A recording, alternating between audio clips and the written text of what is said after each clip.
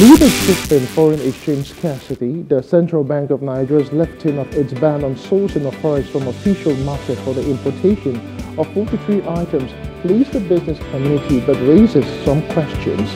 The Apex Bank announced that it was raising dollar supply to the market and freeing importers to obtain forex from the official window, while its advocates have strong arguments justifying the unbanning. Critics, however, fret over some items on the list.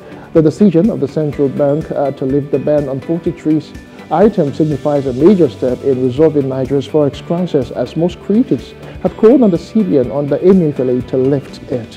However, some of the items remain on the list uh, the ban and uh, customs uh, list rather, and it is unclear if they will be funded for forex purchases. It is also unclear how much demand this will drive to the official I&E window and if the central bank has the capacity to meet this demand in the short term until liquidity returns as it is claimed. On the show today, we'll keep our eye on the CBN's willing buyer, willing sellers principle. Welcome to Business Insight and Plus TV Africa. I am Justin Akadone.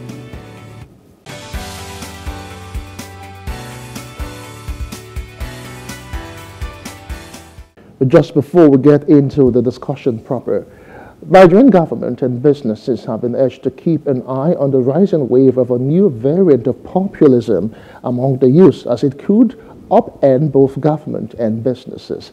This call was made during the public presentation of the distillation edition of the periodic report of a public relations and communication consulting firms in Lagos. Details in this report.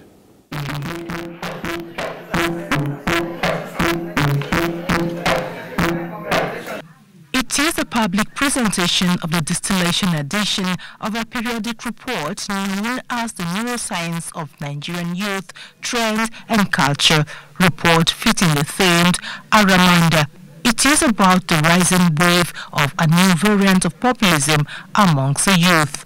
According to the organizers, the rise of this new variant is challenging for governments and businesses all over the world.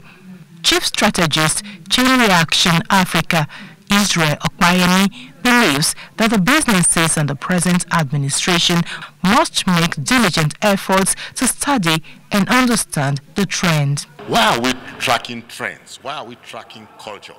There is a saying that culture will eat strategy for breakfast. No matter how intelligent the people in government are, unless they understand the emerging and the extant cultures within their own jurisdiction, then their policies are bound to fail. Okpayemi explains that the mystics surrounding behavioral evolution within the youth's population can be perplexing unless intentionally studied and understood by those responsible for policy and business decision making in government and the side of businesses of the trends we've discussed in there today has been the Afriverse, which has to do with the rising sentiment, the rising consciousness, the Afrocentric, you know, sentiment amongst, you know, Nigerian youth. And examples were given that even government, even in naming your policies, even in naming your programs, name them in such a way that the Nigerian youth can hone them, can feel that this belongs to us, not giving policies foreign names.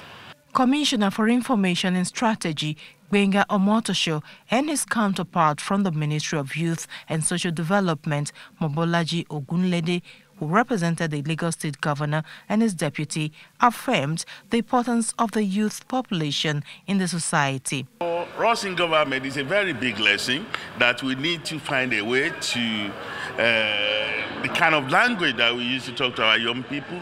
We need to find ourselves in their space so that whatever they we need to do for us to improve as a, a government, as a community of people who understand what the future means to young people, that we need to do it. It's all about engagement. Engagement in the sense that um, when they come, when the youth come out to protest or, or rise to an occasion, it's all they are fighting for justice.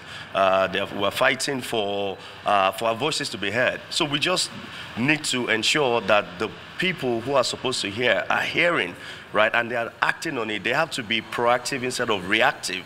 They, however, cautioned the Gen Z not to jettison the old in the craze for metaverse and preoccupation with the realm of alternate reality. My advice is that our young people should try to have a marriage of the old and the new. Because in the old you find wisdom, in the old you find uh, uh, self-regulation, uh, apart from what's as different from what people see now as a laissez-faire attitude of I can do whatever I, can, I like. The distillation edition of the report focused on five other key trends, namely Afriverse, which captures the rise of Afrocentric consciousness amongst Nigerian youths and Igobeta, among others. Love Ikuku Uyeduku, Plus TV News.